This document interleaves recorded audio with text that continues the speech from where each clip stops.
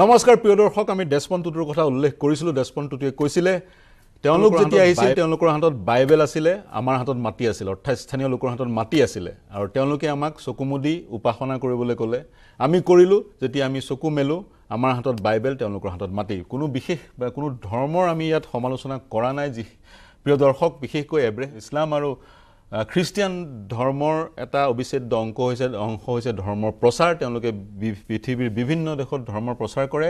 তেওঁলোকে এই তেওঁলোকৰ পদ্ধতিৰ যি উপাসনাৰ পদ্ধতি সেই পদ্ধতিৰ যোগেদি ঈশ্বৰ প্ৰাপ্ত হ'ব বুলি ভাবে আৰু সেই পদ্ধতিটো বিস্তাৰিত কৰিব বিচাৰে বিলাব বিচাৰে সেই পদ্ধতিটো আৰু তেওঁলোকৰ এক অবিচ্ছেদ্য অংগ ধৰ্ম প্ৰচাৰ। আৰু সেই ধৰ্ম প্ৰচাৰ কৰিবলৈ তেওঁলোকে পৃথিৱীৰ বিভিন্ন প্ৰান্তলৈ বিভিন্ন দুৰ্গম অঞ্চললৈ যাবলৈ কুণ্ঠাবোধ নকৰে তেওঁলোক যায়। আৰু তাৰ ফলশ্ৰুতিতে সমগ্ৰ বিশ্বতে বহু মানুহে ইছলাম ধৰ্ম বা খ্ৰীষ্টিয়ান ধৰ্ম গ্ৰহণ কৰিছে। সেয়া অন্য বিষয়। মই কোনবাং পুনৰ আপোনাৰ ওচৰলৈ যাম। যাব বিচাৰিম। আপুনি যদি মোক শুন শুনি আছে। আপোনালোকে উল্লেখ কৰিছে আপোনালোকৰ মেনিফেষ্টো বা আপোনালোকৰ যিখন প্ৰেছ ৰিলিজ তাত উল্লেখ কৰিছে প্ৰলোভনেৰে জনজাতীয় লোকসকলক ধৰ্মান্তৰিত কৰা হয়। এতিয়া প্ৰলোভন প্ৰলোভিত কোন হয়? যি প্ৰলোভিত হয় দুৰ্বল লোকসকল যিসকল দৰিদ্ৰ। অৰ্থাৎ জনজাতীয় লোকসকলক স্বাধীনতাৰ পিছৰ পৰা এছ টিৰ মৰ্যাদা প্ৰদান কৰা হ'ল কিন্তু সেই এছ টিৰ মৰ্যাদাৰে তেওঁলোকক কিন্তু বিশেষভাৱে বিশেষভাৱে আপলিফ্ট কৰিব পৰা নগ'ল সমাজৰ মূল সুঁতিলৈ আহিব আনিব পৰা নগ'ল যদিও একাংশ জনজাতীয় লোকে সেই সুবিধা গ্ৰহণ কৰি সমাজত তেওঁলোক আগবাঢ়ি গ'ল অৰ্থনৈতিকভাৱে সামাজিকভাৱে শৈক্ষিকভাৱে বহু উদাহৰণ আছে আমাৰ হাতত। কিন্তু অধিকাংশই সেই সুবিধা তেওঁলোকে ব্যৱহাৰ কৰিব নোৱাৰিলে আৰু যাৰ প্ৰতি তেওঁলোকে প্ৰলোভিত হ'ল। গতিকে সেইসকলক যদি হলিষ্টিকেলি চাবলৈ যোৱা যায় সেইসকলক সেই দৰিদ্ৰতাৰ পৰা উদ্ধাৰ কৰি অনাটো আমাৰ প্ৰায়ৰিটি হ'ব লাগে নে তেওঁলোকে অন্য ধৰ্ম গ্ৰহণ কৰিছে তাৰ কাৰণে তেওঁলোকৰ মৰ্যাদা কৰ্তন কৰিব লাগে সেয়া প্ৰায়ৰিটি হ'ব লাগে? কি কয় কুম্বাং ডাঙৰীয়া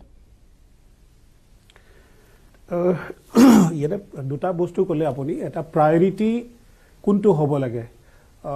প্ৰথম আমি আমাৰ জাতিৰ ভাষা ধৰ্ম সংস্কৃতি পৰম্পৰা নিয়ম নীতি এইটোৱে হৈছে আমাৰ মূল চিনাকি।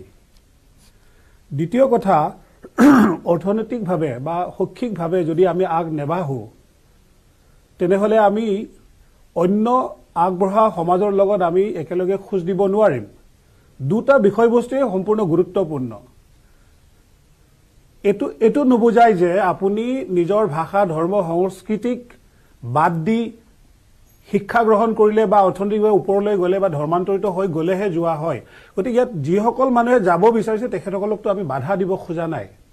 আৰু জনজাতীয় লোকসকলে নিজস্ব ভাষা ধৰ্ম সংস্কৃতি পৰম্পৰা ৰক্ষা কৰিও শিক্ষা বা বিভিন্ন ধৰণৰ অৰ্থনৈতিক স্বাৱলম্বিতাৰ ওপৰত কাম কৰিব পাৰে।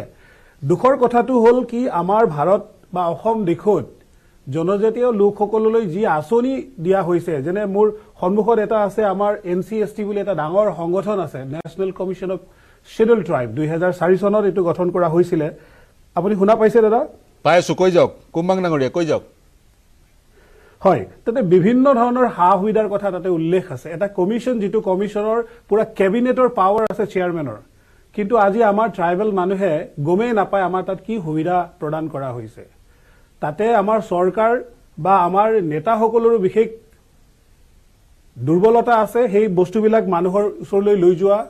আৰু সেই অজ্ঞানতাৰ সুযোগ লৈ কিছু মানুহে প্ৰথমে তেখেতসকলক এখন স্কুল খুলি দিব ঠাণ্ডাত কম্বল এখন দিব স্কুলৰ ফিজ ভৰি দিব।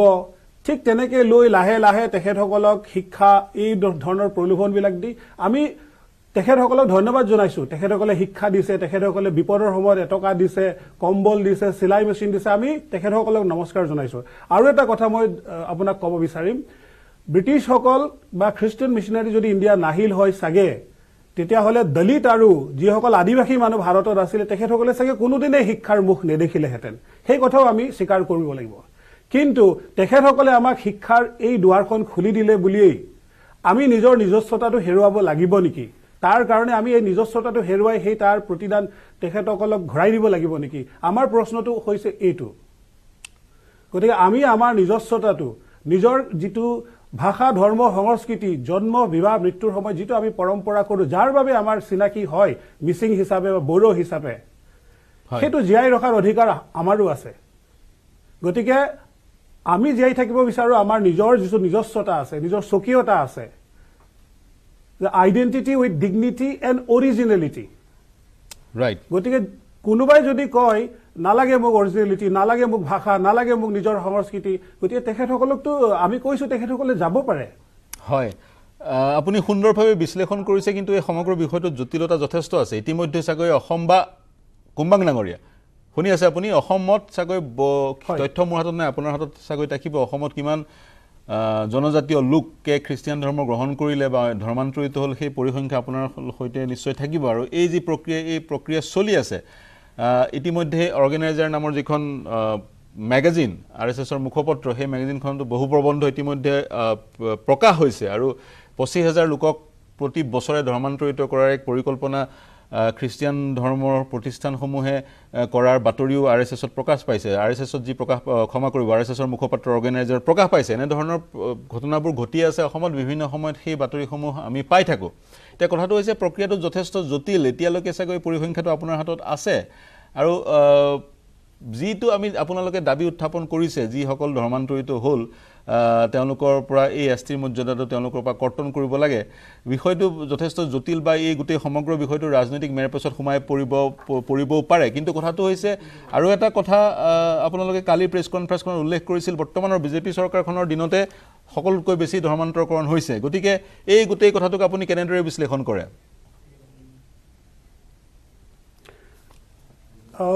আপুনিও জানে আমাৰ ভাৰতত এতিয়ালৈকে ধৰ্মৰ ভিত্তিত বা জাতিগত যিটো চেঞ্চাছ সেইটো এতিয়ালৈকে অফিচিয়েলি নাই হোৱা।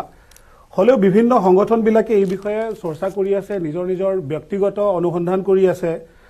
আজি মই আপোনাক এটা কথাই ক'ম যদি কাৰ্বি পাহাৰত যোৱা হয় বা এন চি হিলত যোৱা হয় বা মিচিং শদিয়া বা মাজুলীত যোৱা হয় তাতে আমি ধৰ্মান্তৰিত লোকৰ সমাগম দেখিবলৈ পাওঁ। তেখেতসকল তেখেতসকলৰ নতুন ধৰ্ম উপাসনা কৰা আমি দেখা পাওঁ।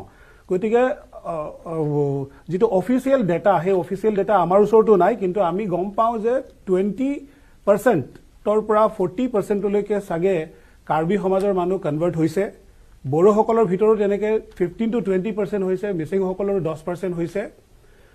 এয়া কেৱল ধৰ্মান্তকৰণ কৰা ধৰ্মীয় সংগঠনবিলাকৰেই কাৰণে নহয় ইয়াৰ কাৰণে বহুতো বেলেগ বেলেগ ধৰণৰ সমস্যা আছে। ধৰক মাজুলীৰ কথাটো আপুনি জানে অথনি আপুনি এই কথাটো উল্লেখ কৰিছিলে। মাজুলীত আমাৰ মাজতেই থকা বিভেদবিলাক যে আমি কিছুমান সত্ৰত প্ৰৱেশ কৰিব নোৱাৰোঁ কাৰোবাৰ ভৰি চুব নোৱাৰোঁ তেনেকুৱা ধৰণৰ কথাও আহি যায়। আৰু এনেকুৱা কিছুমান ভিতৰুৱা গাঁও আছে তাত আপোনাৰ চৰকাৰৰ আঁচনিও গৈ নাপায়। গতিকে তেনে ক্ষেত্ৰত তেখেতসকলে সেই ট্ৰেপত আহি যায়। তেখেতসকলক কিবা ইকনমিক প্ৰলোভনে বুলি। কওক বা সহায় বুলি কওক সাহাৰ্য বুলি কওক তেনেকে সেই ট্ৰেপত আহি যায়। গতিকে পৰিসংখ্যাটো এতিয়া আমাৰ ওচৰতো নাই কিন্তু এইটো খুব এলাৰ্মিং মই যেতিয়া দুহেজাৰ বাৰ চনত ওঠৰ ঊনৈছ বছৰ পাছত মোৰ ঘৰৰ গাঁওখনলৈ ঘূৰি আহিছিলোঁ তাতে দুই তিনিখন তেনেকুৱা অনুষ্ঠান আমি দেখিবলৈ পাইছোঁ।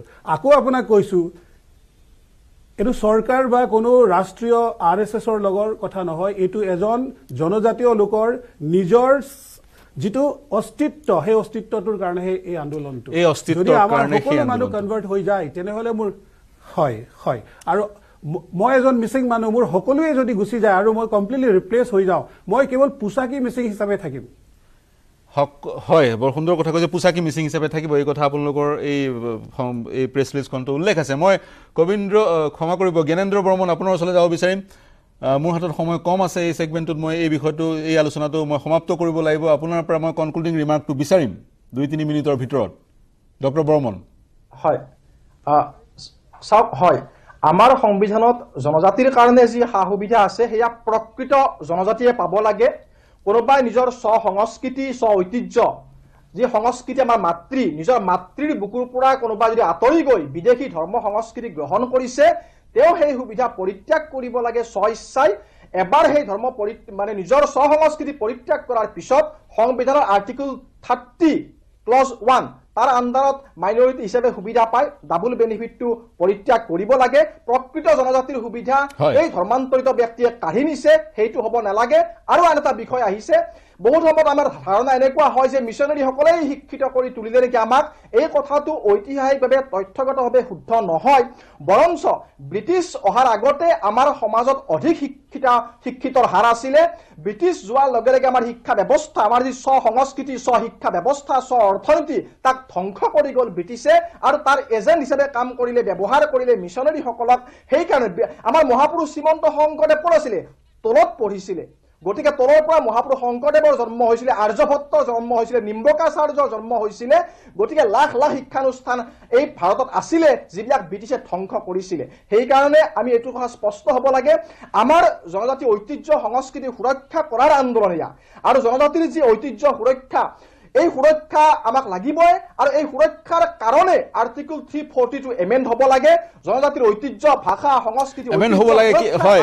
ডক্টৰ বৰ্মন এই ডক্টৰ বৰ্মন পূৰ্বতেও পূৰ্বতেও পূৰ্বতেও ডক্টৰ বৰ্মন পূৰ্বতেও এই বিশ্লেষণ আপুনি যেতিয়া আগবঢ়াইছিল তেতিয়া মই এই প্ৰশ্নটোকে কৰিছিলো যি আমাৰ জাতিভেদ আছে যি কাষ্ট চিষ্টেম আছে। তাৰ সমান্তৰালকৈ উচ্চ বৰ্ণৰ হিন্দুসকলৰ যি দাম্ভিকতা আছে।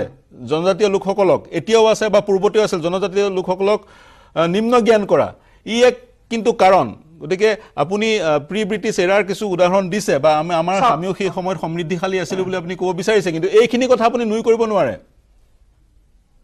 উচ্চ বৰ্ণৰ হিন্দুসকলৰ দাম্ভিকতা তথা আমাৰ। যি কাষ্ট চিষ্টেম হয়। এতিয়া চাওক দাম্ভিকতা নহয় আমি আমাৰ বেদে বেদে আমাক উপনিষদে পুৰাণে আমাক কীৰ্তনে সেই মন্ত্ৰই দিছে যে আমি সকলো এক আমি সকলো এক না হিন্দু পতিতভাৱে। কোনো কোনো এ, আপোনাৰ কি নহয় কোনো হীন নহয় কোনো পৰ নহয় সকলো এক মাতৃৰ সন্তান আমি আই অসমীৰ সন্তান ভাৰত মাতাৰ সন্তান। এতিয়া কথাটো হ'ল এই যিটো কথা আপুনি কৈছে কাষ্ট চিষ্টেম। এই ধৰ্মান্তৰ যিসকলে কৰিবলৈ লিপ্ত হৈ আছে তেওঁলোকে এটা যুক্তি দিয়ে যে আমাৰ সমাজত কাষ্ট চিষ্টেম নাই। আমাৰ সমাজত তেতিয়াহ'লে যদি কাষ্ট চিষ্টেমটো নাই বুলি গৌৰৱ কৰে তেতিয়াহ'লে আমাৰ হিন্দু সমাজত ধৰি ললো কাষ্ট চিষ্টেম আছে কাষ্ট চিষ্টেমৰ ভিত্তিত এছ চি এছ টিৰ মৰ্যাদা দিয়া হৈছে তেতিয়াহ'লে যদি তোমালোকৰ সমাজত এইবিলাক নাই তেতিয়াহ'লে তোমালোকে কিয় তেৰে এছ টিৰ সুবিধাটো আকৌ ল'ব লাগে? তাৰমানে সুবিধাটো ল'বৰ ওপৰত তোমালোকে কাষ্ট চিষ্টেমটো মানি লোৱা আৰু অন্যথা মানি নোলোৱা। এইটো নহয় আৰু কাষ্ট চিষ্টেমটো আচলতে ভুল ব্যাখ্যা হৈছে আৰু কাষ্ট চিষ্টেমটো আজিৰ সমাজত কোনো প্ৰাসংগিকতা নাই। আমি সকলো এক। মই নিজে যেতিয়া বটদ্ৰৱা থানত গৈছিলো মই দেখিছিলো সকলোৱে কোনোবা জনজাতি হওক কোনোবা নৰ কোনোবা বৰ্মন আমি এক হৈ একত্ৰিতভাৱে তাত প্ৰাৰ্থনা কৰিছে এক নতুন সমাজৰ বুনিয়াদ নিৰ্মাণ হৈছে। মই ভাবো সেই কথাখিনিও গুৰুত্ব পোৱা উচিত। আজি কমলাকান্ত ভট্টাচাৰ্যৰ নিচিনা আজি আপোনাৰ পীতাম্বৰ দেৱগোস্বামীৰ নিচিনা ব্যক্তিসকলে পুৰোধা ব্যক্তিসকলে এই এখন সমতা সমতাৰ সমাজ সামাজিক সমতাৰ এখন সমাজ নিৰ্মাণৰ প্ৰয়াস কৰিছিলে। মই ভাবো সেই প্ৰয়াসক আমি আগুৱাই নিব লাগিব। অতীতত কিবা ভুল ভ্ৰান্তি হৈছিলে যো ভাই ভটকে বিচৰে হাত পকড় কৰ সাথ চলে সেই মন্ত্ৰৰে আমি সকলোকে লগত লৈ আগুৱাব লাগিব। আগবাঢ়িব লাগিব। হয় ডক্টৰ বৰ্মন মই এটা বিৰতি ল'ব লাগিব এই আলোচনা সমাপ্ত কৰিছোঁ। দুইকে ধন্যবাদ জ্ঞাপন কৰিছোঁ। বিনোদ কুম্বাম আৰু ডক্টৰ জ্ঞানেন্দ্ৰ বৰ্মন ডক্টৰ জ্ঞানেন্দ্ৰ বৰ্মন এটা মই বিৰতি ল'ব লাগিব। বিৰতিৰ পিছত অন্য এটা বিষয় বিষয়টো হৈছে চীন দেশৰ স্পাই বেলুন। আমাৰ সৈতে বেজিঙৰ বেজিঙৰ পৰা সংযুক্ত হৈ থাকিব জ্যেষ্ঠ সাংবাদিক চামিম চামিম জাকাৰিয়া। এই চীন দেশৰ স্পাই বেলুনে কেতিয়া ভাৰতৰ আকাশ প্ৰৱেশ কৰিছিল আৰু ভাৰতত কেতিয়া চোৰাংচোৱাৰ কামত লিপ্ত হৈছিল সেই বিষয়ে সবিশেষ আপোনালোকক জনাম। কিন্তু এই মুহূৰ্ত ল'ব লাগিব মই এটা বাণিজ্যিক বিৰতি শীঘ্ৰে ঘূৰি আহিম। ষ্ট্ৰং নহয় মাইথান ষ্ট্ৰং মাইথান ষ্টীল নিৰ্মাণৰ মানদণ্ড